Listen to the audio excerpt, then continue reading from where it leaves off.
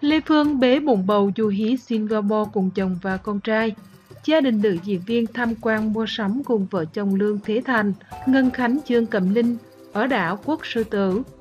Nữ diễn viên mang thai con thứ hai. Những ngày đầu của kỷ hợi, cô dành thời gian đi du lịch cùng chồng trẻ và con trai riêng cả pháo.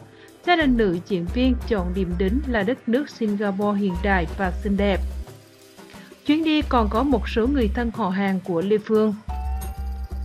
Diễn viên Ngân Khánh Trái và Ninh Dương Lan Ngọc từng đóng nhiều phim với Lê Phương, ngoài đời họ là bạn bè thân thiết. Thúy Diễm rủ bà bầu đi mua sắm váy áo, phụ kiện mới, vóc dáng và gương mặt Lê Phương đã có những thay đổi, trông cô tròn trịa hơn trước. Bé cà pháo quấn quýt bên bố giường không rời. Lê Phương tiết lộ Trung Kiên coi con riêng của mình như con ruột. Nữ diễn viên mừng vì sau lần đầu đổ vỡ hôn nhân, cô may mắn tìm được người đàn ông hết lòng yêu thương và sẵn sàng làm điểm tựa cho hai mẹ con. Vợ chồng Lê Phương chụp ảnh cùng Ngân Khánh và ông xã khi đi khám phá Singapore về đêm. Trong khi Thúy Diễm, Trương Cẩm Linh và Lê Phương đều đã làm mẹ, chỉ còn Ngân Khánh vẫn đang tận hưởng cuộc sống vợ chồng son.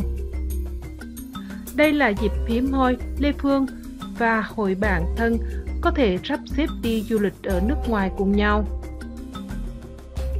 Năm 2019, Lê Phương sẽ tạm gác lại các dự án nghệ thuật để tập trung dưỡng thai và chuẩn bị đón con lần thứ hai.